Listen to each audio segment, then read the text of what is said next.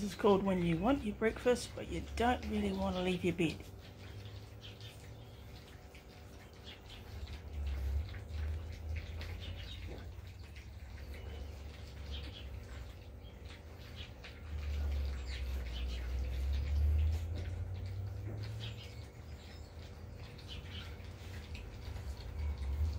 Thank you.